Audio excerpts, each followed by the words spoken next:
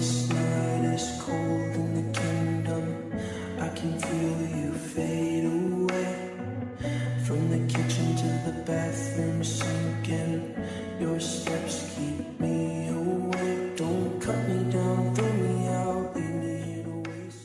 तो so, दोस्तों आपने स्टार्टिंग में जो इंट्रो देखा उसी तरीके से आपके मोबाइल में भी वर्क करने वाला है। तो सबसे पहले आपको सेंट्रल पैनल को ओपन करना है जो कि प्ले स्टोर पर आराम से मिल जाएगा। अगर नहीं मिलता है तो मैंने डिस्क्रिप्शन में लिंक डाल दिया है। तो सबसे पहले इसे ऑन करते हैं। ऑन करने के बाद कंट्रोल सेंटर को ऑन करने के बाद आपको बैक आना है। और बैक आने के बाद कुछ सेटिंग्स करना पड़ेगा वो मैं आप लोगों को पहले बता देता हूँ। तो यहाँ पर सबसे ऊपर जो ऑन है ऑन का ऑप्शन है उसे एक बार हरे पे सेट करना है। वो रेड पर होगा उसे हम ग्रीन पर सिलेक्ट करते हैं। उसके बाद बहुत सारे सेटिंग्स करना पड़ेगा। वो मैं आप लोगों को वन बाय वन बता देता हूँ। यहाँ पर साइज़ के ऊपर आना है और साइज़ को कुछ ऐसे सिलेक्ट करना है। कुछ ऐसी सेटिंग्स करना है। राइट और ग्रीन कलर में और सभी सेटिंग्स ऐसी करना है। उसके बाद हम कलर के आते और कलर में भी सेम सेटिंग करना है और पोजीशन में भी सेम सेटिंग करना है। वो आप ध्यान से देखना कौन सी सेटिंग कहाँ करनी है। ओके? उसके बाद बैकग्राउंड पे आते हैं और आपको ट्रांसपेरेंट रखना है, इसे अलाउ करना है। और अलाउ करने के बाद हमारी जो सेटिंग की प्रोसेस है खत्म हो जाती है, बाद में आप लोगों को दो तीन सेटिंग करना पड़ेगा। तो सबसे पहले आपको यहाँ से राइट से लेफ़्ट तक स्क्रॉल करना है और स्क्रॉल करने के बाद वो सेंट्रल पैनल है, वो आराम से आपके इस तरफ़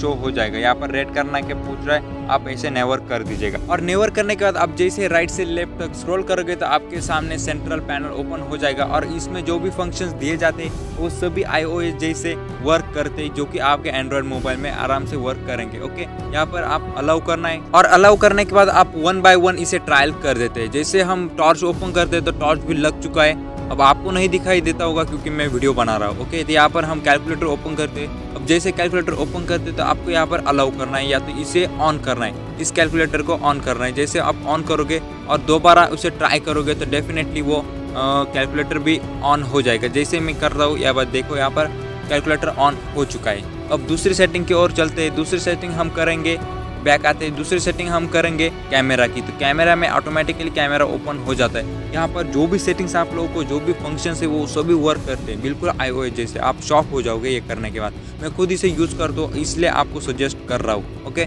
तो सबसे पहले, उसके बाद हम दूसरे एक सेटिंग कर देते हैं। यहाँ पर ऑन ऑफ़ म्यूज़िक आप म्यूज़िक वगैरह सब कुछ सेट कर सकते हो। यहाँ पर मैंने म्यूज़िक को भी ट्रायल करके दिखा दिया आपको। यहाँ पर जैसे सिलेक्ट करता हूँ और फिर से एक बार म्यूज़िक पर आता हूँ तो म्यूज़िक भी ऑन हो जाता है लिटरली और उसके बाद देखो यहाँ पर मैं राइट से लेफ़्ट तक स्क्रॉल करता हूँ तो यहाँ पर हमारा सेंटर पैनल ओपन होता है तो यहाँ पर मैंने म्यूज़िक भी ऑन कर दिया है। मैं सच में बता रहा हूँ, ये काफ़ी कमाल की एप्लीकेशन है, आपको एक बार ज़रूर से ट्राई करना चाहिए। अगर आपको वीडियो पसंद आता है तो वीडियो को लाइक कर दो चैनल को सब्सक्राइब कर दो और कमेंट में भी आप लिख देना कुछ और टॉपिक का नाम, मैं उसके बाद ही वीडियो बना दूँगा। तो आई होप आप लोगों को पसंद आया होगा। तो मिलते हैं हमारे नेक्स्ट वीडियो के अंदर। Bye bye and take care